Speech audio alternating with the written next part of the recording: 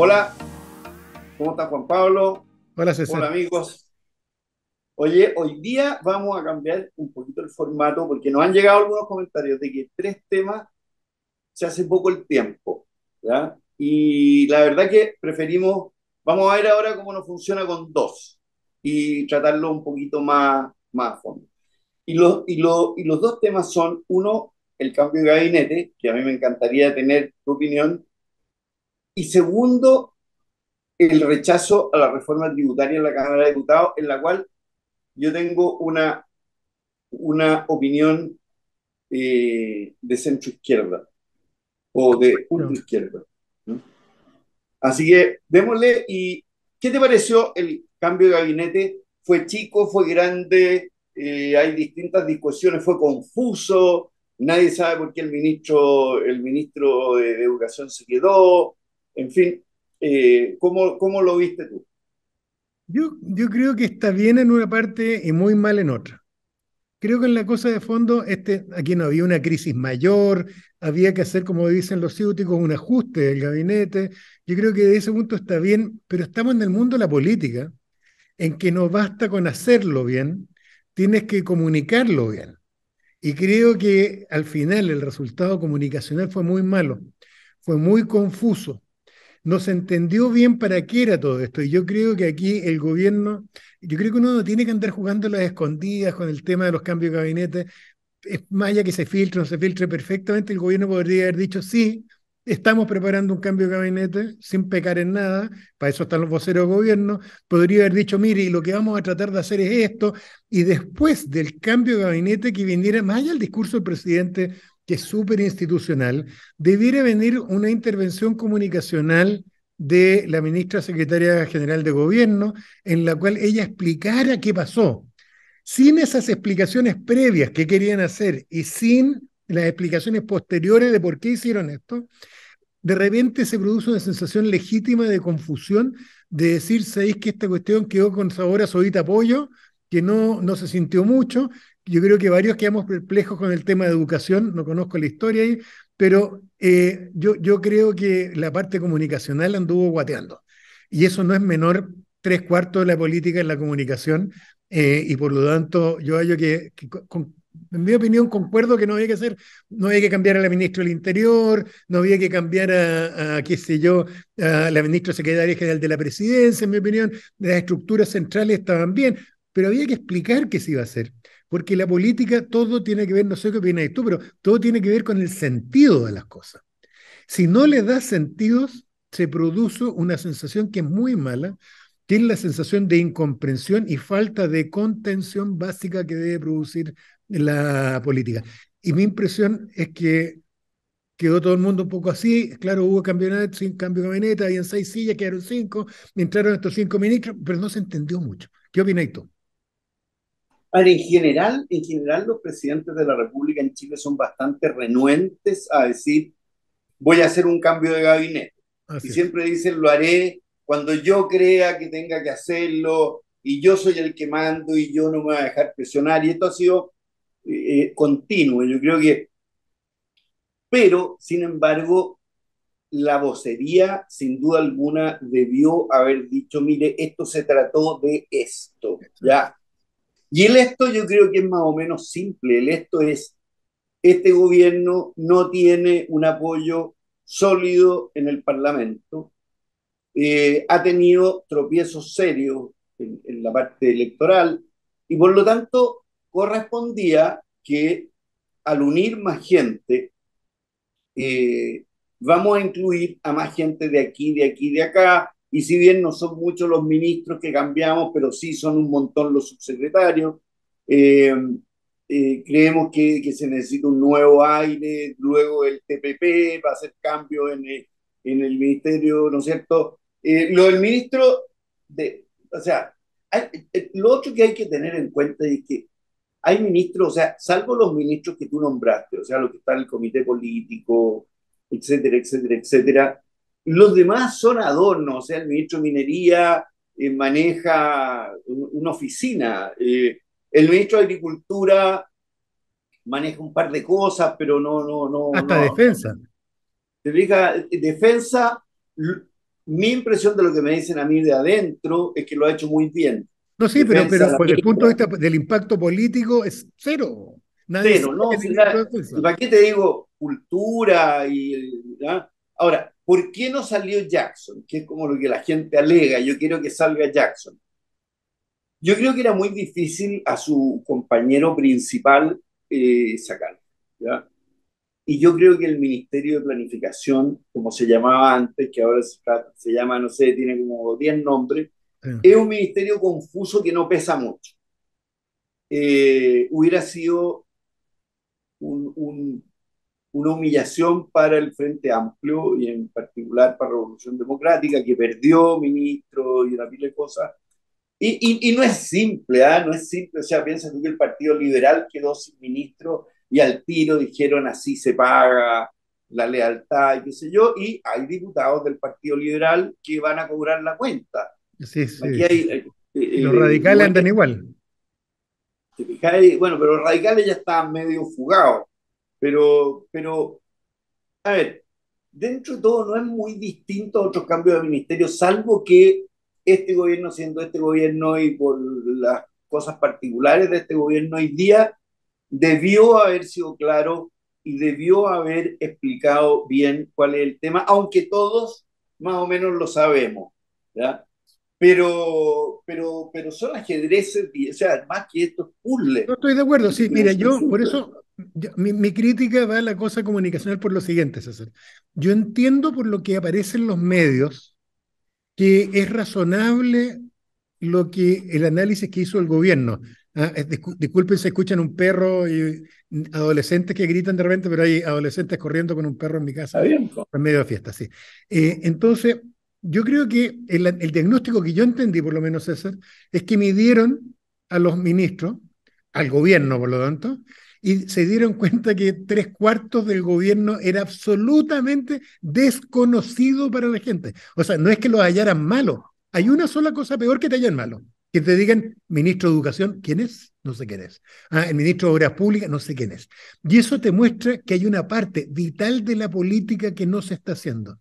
La visibilidad en la... Este no es un trabajo técnico, pues Esto no es como que a ti te piden un informe económico, que lo importante es solo lo técnico. A mí me piden una opinión, ¿no es cierto?, de política criminal, que, que son criterios técnicos. En el mundo de la política, la visibilidad tiene que ver con la capacidad de contener, de mostrar que hay gente a cargo, que están haciendo cosas.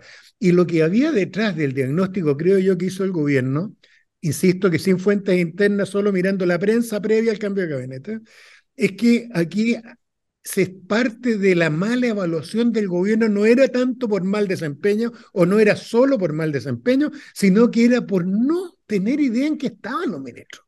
Y ahí es un error grave, porque cada ministro tiene que entender que por algo es un cargo de confianza política, es un, es un ministerio que es tres cuartos político y un cuarto técnico. Y ahí tiene que estar incluso en obras públicas, en educación, en agricultura, y tienen que estar en la primera línea. Y tienen que la gente verlos y los actores de su área, ¿no es cierto? Los stakeholders, como dicen los ciúticos, tienen que verlos. Y aquí este gobierno entró como tímido, pareció un gobierno de, de ONG, tecnócrata, y no se les veía. Entonces, yo entiendo que parte de lo que se está haciendo ahora y lo que motiva esto, yo lo veo muy bonito, porque es reivindicación de la política. Señor Hermosilla, usted lo pusimos de ministro de X, no basta que usted esté haciendo bien la pega, usted tiene que estar en contacto con la comunidad y tiene que marcar presencia. No por un Absoluta, narcisista, no porque eso es la política. Entonces, yo creo que yo lo noté bien inspirado, pero no se explicó bien al final es que aquí hay un problema comunicacional de este gobierno, o sea, la agenda comunicacional no es buena. ¿ya? Eh, yo no entiendo cómo el ministro de Obras Públicas no se lo lleva cortando cintas, pero si para eso están los ministros de Obras Públicas. Cortan una cinta para la primera piedra, otra para la segunda piedra, otra cuando llegó la topadora y otra, ¿no es cierto? Pero es el que va sembrando. Eso fue Lagos. ¿Te acuerdas, Lagos, ministro? ¿Ya? Y que hablaba y que salía y qué sé yo. Eso fue Bachelet en defensa que salió, ¿no es cierto?, junto con el ejército en una tanqueta, ¿no es cierto?, arreglar una cuestión. Ahora hubo una oportunidad gloriosa que tuvieron, ¿no es cierto?, pero no se notó. Y lo único que se notó fue el pobre Montes que dijo una cuestión eh, que por lo demás es cierto, ¿ah? que, que, los animales salen, eh, esparcen el incendio, pero lo, lo subieron al columpio y, y, entonces es como al revés, ¿te O sea, falta coaching ahí, falta... Pero mira, déjame irme a un área, no sé cómo lo ves en el área tuya, pero en el área mía, de política criminal ya nadie puede dejar de negar a propósito de lo que pasó en el aeropuerto, a propósito de tanto otro, digamos, los lenguajes técnicos, tanto cagazo que ha quedado en el, del punto de vista de la seguridad. Tú tienes que tener un diagnóstico visible, no puedes dejar de decir cuál es el diagnóstico de lo que está pasando. ¿Por qué este señor de 51 años, creo, con cuatro o cinco condenas previas, termina muerto en la losa del aeropuerto tratando de robarse 32 millones de dólares a balazo limpio como que estuviera en el Far West? Tienes que tirar un diagnóstico para afuera así como lo hicimos con la... Y para eso está el ministro de Justicia. Para eso está el ministro de Justicia. El ministro de Justicia no habla. Tiene que salir el ministro de Justicia, tiene que explicar, tirar un diagnóstico, pero al mismo tiempo que tira el diagnóstico, para que la gente esté, sepa que por qué está actuando el gobierno, tiene que decir a continuación, mire, y estamos por lo tanto haciendo esto, y que la gente entienda. Piensa, por ejemplo, César, un ejemplo bien hecho por el gobierno Piñera, ¿no es cierto? Esto no lo discute nadie, el tema de salud a propósito de la pandemia se produce la cuestión y lo primero que empieza a tirar el gobierno de Piñera, incluyéndolo a él, son los diagnósticos. Esta cuestión es seria, se nos viene encima, y hacen el diagnóstico que, y todo el mundo observa este diagnóstico. Segundo tema, nos vamos a hacer cargo. ¿Cómo nos vamos a hacer cargo? Vamos a comprar vacunas, y, y, todo el mundo iba mirando. Y todos los días, y todos los días. Y todos los días llegaron encima y todo pendiente, ¿cuál es la estadística? Cuál es mire, te, planteo el problema, a propósito de estar completamente de acuerdo que hoy día parte importantísima de la crisis del gobierno en la ausencia, no de las vocerías, de la política comunicacional, es que veo unas declaraciones, ayer creo que fue en la tarde, terribles de la familia del, del de este guardia de la, de, de la DGAC. El bombero. el bombero, muerto ahí, pucha, un gallo terrible, 20 años que era bombero y muerto en la loza del aeropuerto, por una tontera además que se pudo haber previsto perfectamente.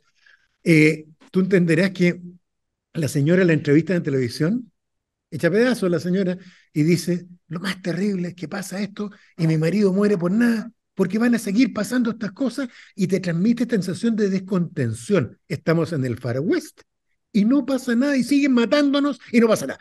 ¿Por qué ella puede decir eso? Legítimamente porque no hay nadie del Estado, ni siquiera del gobierno, no hay nadie del Estado chileno que salga a decir, mire, yo les voy a explicar lo que está pasando.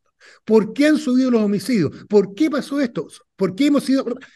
Tira el diagnóstico y después propone las soluciones. Eso en técnica comunicacional se llama containment, se llama estar a cargo. Y tú tienes la sensación a veces de que no están a cargo cuando sí están a cargo. A veces, pero tienes que hacerlo. Esto es el desde de la política. Entonces, por eso que yo creo que este cambio de gabinete era una tremenda oportunidad de nuevo de que alguien se hiciera una vocería, explicara y ratificara este de estamos a cargo. Y la sensación que yo quedé siendo gobernista y todo el cuento, eh, me quedó una cosa difusa en la mano. Pero no te da la impresión de que los ministros como que tienen miedo de salir solos. Muertos de susto. Porque cuando han salido solos eh, es como que ha quedado algún desparramo. Y entonces es Boric el que tiene que asumir y el que tiene que hacerlo y tiene que salir. Y no puede estar en todas. No, pero además es el modelo Piñera, pues el modelo que el, el, que está metido en todo es el presidente de la República, y eso no funciona. Además, fuera que es imposible que el presidente esté a cargo de todo, permite eh, personaliza el gobierno cuando tú lo que tienes que hacer, está bien, tienes que proteger la imagen de Piñera o, del eh, presidente Boric, pero tienes que fortalecer la imagen de gobierno.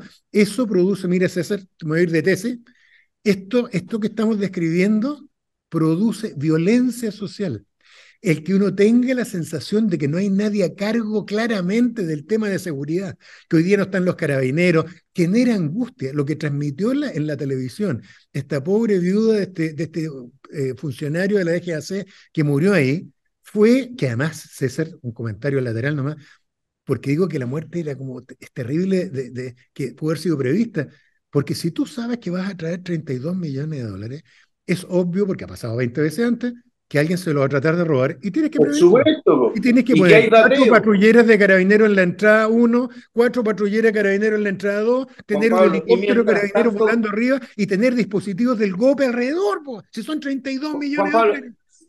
Y mientras tanto, en cambio, el alto mando de carabineros paseándose con un futbolista que lo habían tomado preso. o sea, esas, son cuestiones que tú decías, a ver, comunicacionalmente yo, también ahí yo no sé en qué, con qué piedra se pegaron en la cabeza.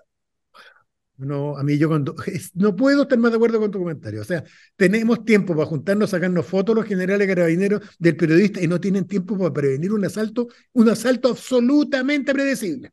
Cada vez que... que ya había pasado. dos veces antes, Entonces, pero además esta vez terminó con muertos, pues, César. Entonces esta cuestión ya no es solo desapareció plata, pero además, ¿cómo te explica, César, que se produzca el robo? Eh, el aeropuerto tiene básicamente dos entradas o salidas se produzca el robo y los tipos, dura la balacera, según vimos, bastante rato para lo que es una balacera, no duró cuatro segundos, duró varios minutos, y los tipos se pueden arrancar y no los pillan. O sea, no hay carabineros en la entrada del aeropuerto, sabían que había, nada más se dieron cuenta por dónde se fueron, y no, fueron, no pudo salir un helicóptero carabinero a pillarlo. No, pero ¿qué es esto? O sea, además que el aeropuerto tiene que ser en los tiempos modernos en toda parte del mundo uno de los lugares más seguros del planeta. Eh, Por supuesto, dicen que, yo no sé si chiva eso, que le, que le llegó un balazo a un avión. Sí, yo, vi, yo vi la filmación y había una cola de un avión, ya no me acuerdo, American Airlines parece que era norteamericano, y tú veías cuando se acercaban la cámara varios agujeros sobre la, la, el estabilizador de cola. Entonces, yo creo que esta cuestión es muy grave, pero tú tienes toda la razón. Uno tiene que juntarlo con los tres generales de carabineros juntándose y con la nuestra diputada de mi sector de, Revolución Democrática, llamando a los carabineros por este enredo con Jorge Valdivia. Y para eso hay tiempo, para eso hay generales carabineros disponibles, y para esto otro nadie dijo, oye, montemos un, un, dispositivo de seguridad que impida que se lo roben. Son 32 millones de dólares en billetes. Entonces, e, es, es como, y de nuevo, eh, César, criticando a mi gobierno, se produce el evento, genera estupor, eh, y, y, nadie sale a contener la situación.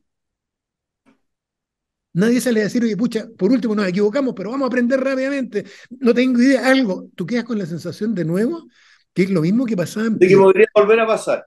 Va a volver a pasar, Y que además, no solo en las policías, en toda la, estructura del Estado, esta es DGAC, DGAC está en manos general, hasta donde yo me acuerdo, en manos de un general de la Fuerza Aérea no un, un, cargo político, pero ese señor, y tú lo veías, tú sabes que yo entiendo de armas esas porque me gusta la cacería, y tú veías los de la DGC armados con, con pistolas 9 milímetros y con escopetas antimotines que no sirven frente a delincuentes que andaban con chaleco antibala, pues César ni siquiera tenían, no, sé, pues, un M4, tenían un, ah, un, fusil, nada. O sea, tenía, de hecho, en el enfrentamiento tenían armas más potentes los delincuentes que los funcionarios de la DGAC. Bueno, eso suele pasar, ya ahora, eh, o sea. A mí me da mucha rabia, me da mucha rabia. ¿Sabes por qué es eso? Porque le hallé la razón a la señora, a la señora del funcionario fallecido, de que, de que había una sensación, no digo que sea así, pero la sensación que se produce es como de inutilidad de la muerte. Lo mataran, no va a pasar nada, va a haber otro salto en dos semanas igual, y esta cuestión está casi fuera de control. Y la verdad, tú conoces mi tesis, a mí me critican cada vez que digo esto, pero la sostengo, yo todavía creo que el tema no es tan difícil. No vamos a descubrir la rueda, aquí se necesita presencia policial. No solo se necesita presencia policial, se necesitan algunos ajustes de penalidad del punto de vista del punto de vista del Código Penal, pero no son tantos y el resto es enfocarte en las bandas. Es gestión, es gestión. Es gestión, tal cual. Ya ustedes, pasémonos al segundo tema. El rechazo. ¿Qué ¿Cómo, ¿Cómo lo viste tú? A ver, primero fue una chiripa, ¿ya? O sea, no es que hayan votado en contra aquí, hubo tres señoras que se enojaron con el gobierno porque el ministro de Educación le pegó un grito. Ahora, notable que una diputada, porque le gritan un par de cosas, eh, se desmaye. No, no, a ver, también eh, yo creo que ahí hay show. Pero a mí lo que me molesta es que se celebre la chiripa, ¿ya? Y se diga que era un mal proyecto, que no era necesario, ¿ya? Cuando han estado nueve meses discutiéndolo con el ministro que la oposición más respeta y quiere, y que obviamente el primer proyecto que se manda es un proyecto con el tejo basado, pero eso ha sido siempre aquí y en la quebrela.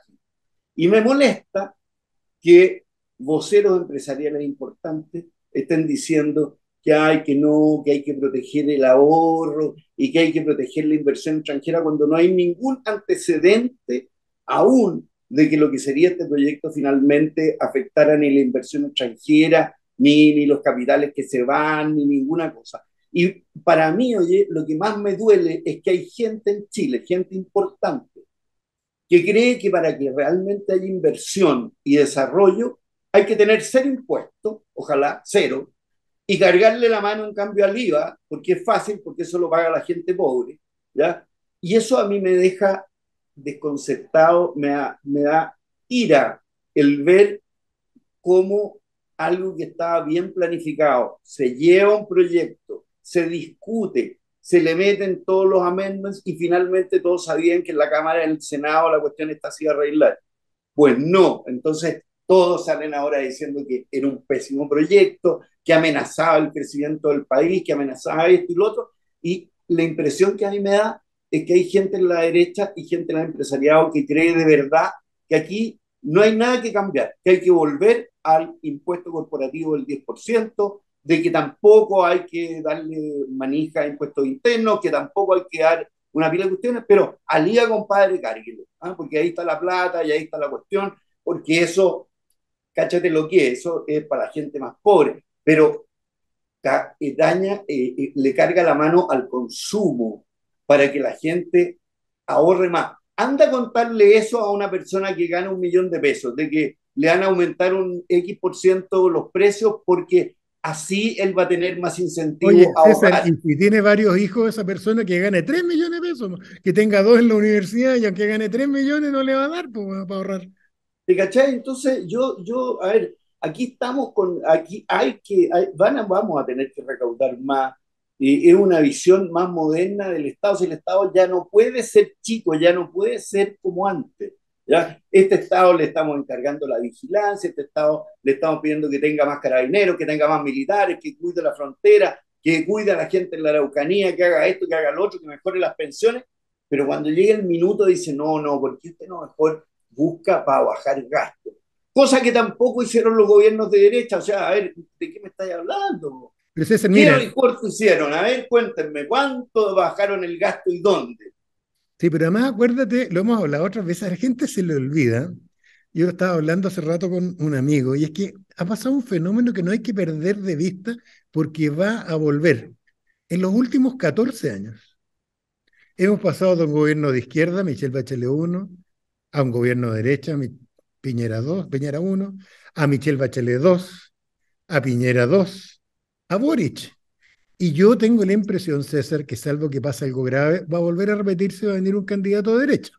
Y esta trayectoria saltada, este juego para un lado y para el otro, permite a uno seriamente sostener que el estado de las cosas hoy día es responsabilidad compartida. Esto no es la concertación de los primeros 20 años en que fuimos nosotros los que estábamos a cargo y legítimamente nos podía sacar la cresta porque ustedes eran. Aquí estamos miti Y por lo tanto, el estado de las cosas que lleva el 18 de octubre, el estado que hace de cosas que lleva la nueva constitución, en que se requiere mejorar la salud, se requiere mejorar las pensiones, eh, eh, todas estas cosas que estabas mencionando tú, es una cuestión que no es de la izquierda ni de la derecha, es un fracaso del Estado y es un fracaso colectivo. Lo peor que podría pasar, César, y déjame transmitir un poco de ansiedad o temor de algo que la gente no está viendo. Pasamos este ciclo en que mi sector, la izquierda, nos llevamos las pelotas para la casa, ganamos el plebiscito de entrada, ganó Boric, ¿no es cierto? Llega el desparramo, nos fuimos de curadera, nos fuimos de farra y ¡pum! La burbuja izquierdita se rompió con el plebiscito de rechazo, ¿no es cierto? Y ahora vi a Marta Lago el otro día mostrando un estudio, el Latino Barómetro este, diciendo que el país se ha ido moviendo más a la derecha. Yo creo que no hay que equivocarse en una cosa. Aquí hacen mal el trabajo constitucional. La clase política no hace lo que se le paga para hacer. No olvidemos que esto no es oligarquía del siglo XIX. Esta gente recibe sueldo. ¿ah? Los comunistas, los UDI, todos reciben sueldo. Se les paga para hacer su trabajo. Y no Hacen bien la pega. No aprovechan de ajustar a este nuevo Chile el Estado. ¿Tú te imaginas el cagazo que vamos a tener, César, si resulta que hacen mal la constitución, cometen el mismo error que cometimos nosotros. Se van muy a la derecha, se olvidan del Estado social y democrático y se rechaza la segunda constitución.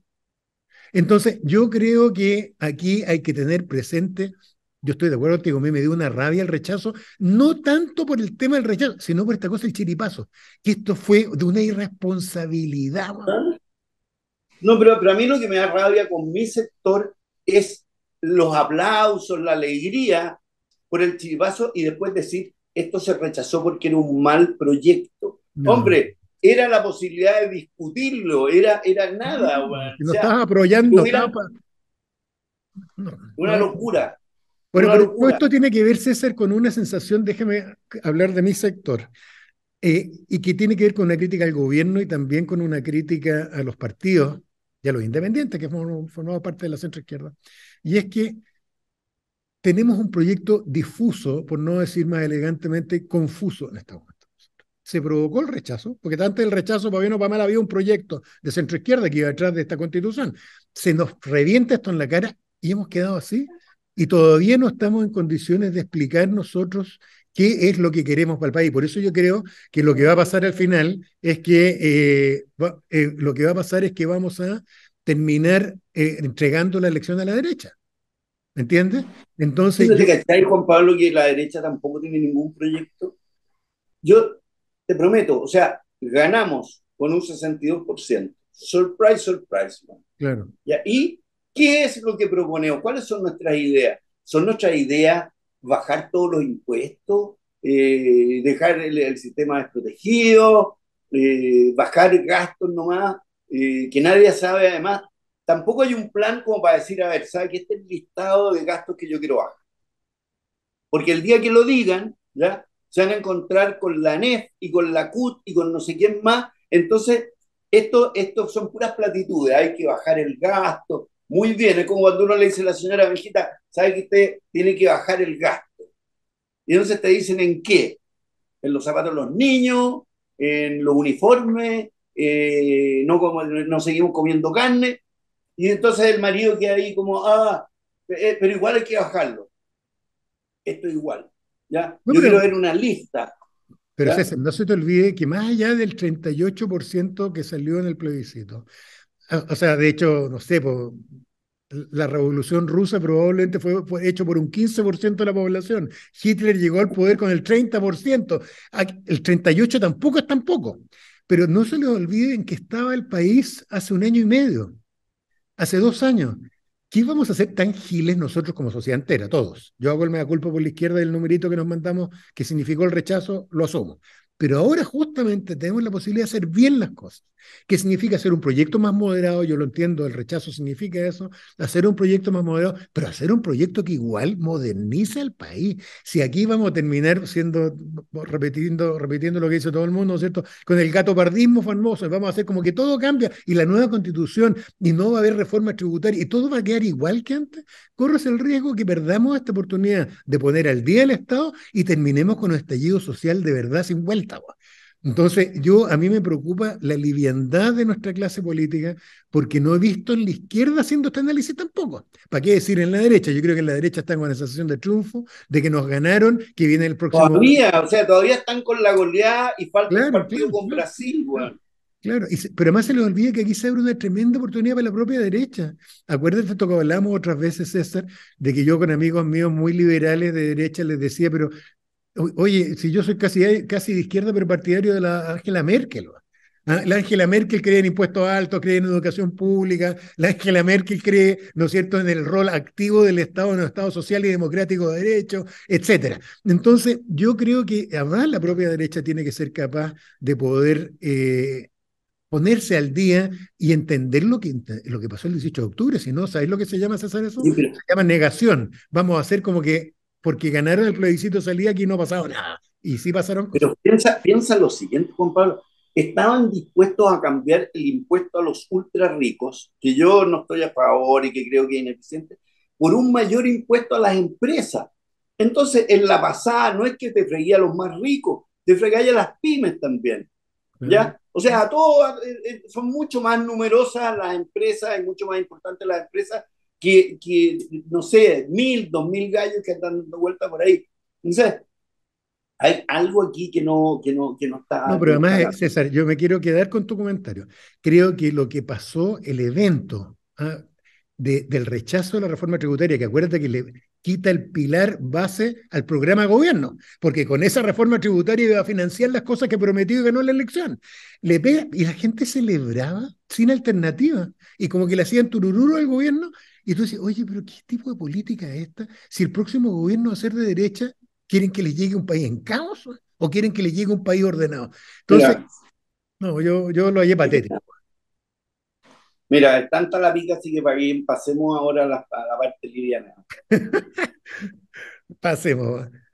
Dispara tú primero. ¿Cómo ahí? Déjame Dale, entonces. Déjame. Primero, libro un señor, yo entre mi ignorancia ando descubriendo siempre autores nuevos. Si uno es demasiado oculto no lo conoce a todos. No, yo descubrí un señor que se llama Byung-Chul Han, gran filósofo alemán, aunque suene raro. Es un señor coreano joven, o sea, que era joven y se fue a vivir a Alemania, y hoy día es el filósofo, en mi opinión, por lo menos más vendido y con mayor impacto social en Alemania, Byung-Chul Han, y que escribe, es un hombre de progresista, de alguna manera es un continuador en muchos aspectos de lo que se llama la Escuela Sociológica de Frankfurt, Habermas y todo el grupo marxista psicoanalista de, comienzo del siglo XX, y hace un análisis de la psicopolítica muy interesante. Esto está en castellano también, yo me topé por casualidad con él en inglés, es un libro pequeñito, es como un artículo grande, muy bien escrito para cualquier persona acostumbrada a leer nomás, lo va a entender el tiro, pero que sostiene la tesis de que de alguna manera, miren lo que voy a decir, el liberalismo ha sido derrotado por el capitalismo. Y eso es lo que está socavando Estados Unidos, lo que está socavando a Orban en Hungría y lo que está pasando en particular, dando espacio a los anarquistas de izquierda y de derecha que se metan. Y por eso que es grave desprestigiar el Estado en Chile. Uno puede criticarlo para mejorarlo, pero desprestigiar al Estado es una cuestión súper peligrosa desde el punto de vista de la paz social. Ah, y lo que logramos con toda esta clase política medio ineficiente es que la gente diga que el Estado no sirve para nada. Eso del punto de vista de libro, del punto de vista de restaurante, un restaurante que para mí me emociona casi hasta las lágrimas, el Ciros. ¿ah? ¡Ah! Yo lo tenía yo, ya bueno, ya me Mentira, más grande, me estaba copiando. El Ciros, el Ciros del centro, ah, el Ciros de bandera, ahí ah, este, que yo voy a recomendar el Disiora. Tú puedes recomendar el otro. Yo recomiendo el tradicional, donde vendían cola de mono todo el año, el que uno pedía el pierna tomate mayo, eh, cuando uno iba a tribunales. Sigue abierto y sigue igual de rico el Ciros. Yo conocí algún momento al, al, italiano que era el dueño. Eh, muy buen restaurante y sigue abierto y lo recomiendo. Y de. Oye, para, que vean, para que vean lo que nos escuchan de que nosotros no nos preparamos. No, pues si nosotros no nos ponemos de acuerdo, déjame poner ahora la película, porque la tenía por acá la película. Sí, una cuestión que, que es para que lo toquemos otras veces, que es el tema de las sectas, Netflix, eh, en una serial de Netflix que la pusieron hace poquitito, que se llama En el nombre de Dios, Sagrada Tradición se llama. Y es la historia de ciertas sectas, pero masivas, en Corea del Sur. Corea del Sur es un país raro. Ah, este señor el Byung-Chul Han es coreano. Sabemos lo importante que es Corea en la música pop, están pasando cosas en Corea. bueno, además ha sido el origen de unas sectas feroces en el último tiempo. Y aquí recomiendo, porque es un fenómeno del cual hablamos poco eh, y que muestra esta cosa tan particular ah, de, de las sectas coreanas. Yo me acuerdo cuando yo era joven, que era el mito, la iglesia que creó un señor que se llama Sung Yung Moon. Le decíamos sí, loco como una cabra asoleada al Señor. Y ha sido unos matrimonios masivos de 50.000 y 60.000 personas al mismo tiempo. Loco como una cabra. Y, pero vean este documental nuevo de Netflix. Bueno. ¿Y tú, César? Ya, yo tengo en película, para que se rían un rato, porque es una sátira, ya, para Latinoamérica y Argentina en particular, que se llama División Palermo, que está en Netflix, y básicamente se trata como los vecinos aburridos de que nunca llega la policía se organizan, pero se organizan a la Argentina, se organizan en forma caótica, pero creo que representa las, parte de las cosas que estamos, que estamos viviendo. Está bueno. Y el restaurante, yo por supuesto tenía el Ciro de Isidora, bar y restaurante, pero sobre todo bar y que está súper bien ubicado, muy bien atendido, ¿ya? Y ideal para ir a tomarse una copita después del trabajo con amigos. No, he ido nunca, fíjate el de arriba. He ido siempre al de abajo. Oye, el libro, a mí me da pena, pero está en inglés y todavía no sale en castellano, se llama Mi día, la, la, la cristianidad medieval, una nueva historia. Y que parte de San Pedro y te va desarrollando el cristianismo desde el siglo I, II y llega básicamente hasta la Alta Edad Media y te va analizando los papas, el rol que tenían, cuándo caen, lo, digamos, cuándo se hace con la, la unión de la religión con, con, con los estados, cuando no habían estados, básicamente. El siglo IX, décimo, por ahí fue así. Y, y, cómo eso era necesario, además, porque si no era un desastre, porque habían estado, ¿no es cierto?, había caído el imperio romano, las tribus germánicas habían tomado el poder, y el Islam atacaba por otro lado, entonces viene esta como a ver, no teníamos alternativa más que hacer esta cuestión. Así que ahí voy, súper, súper interesante. Es una parte además de la baja edad media que uno la comprende poco. O sea, cómo se fue diluyendo el imperio romano, cómo se fue mezclando con las tribus germánicas, los visigodos y los ostrogodos, que venían huyendo de los unos y, y empezaron a bajar, y el Islam, que parte su yihad con la muerte de Mahoma, y que se apodera primero de todo el norte de África y después de España. Eh, y, qué estaba pasando? O sea, a, uno le van explicando más cosas, así que es bien interesante. Y eso. Buen libro. Buen libro. Oye, ojalá les haya gustado este formato, porque ahora tocamos dos temas, efectivamente, tuvimos más tiempo. Así que probemos, veamos los comentarios que tenemos y probemos lo mismo la otra semana. A ver qué nos dicen. A ver qué nos dicen. Eso. Ya, pues, chiquillo. Eso, qué bueno verte, César gozando los últimos días de verano para acá y un abrazo a todos y cuídense que andan hartos virus dando vuelta. Yo tuve uno. Me tuvo tres días medio liquidado. Sí, hay que cuidarse. Pero ya estamos arriba, ya estamos arriba. Eso. Ya, pues, un abrazo a todos. Cuídense. Ya, pues, chao. Adiós.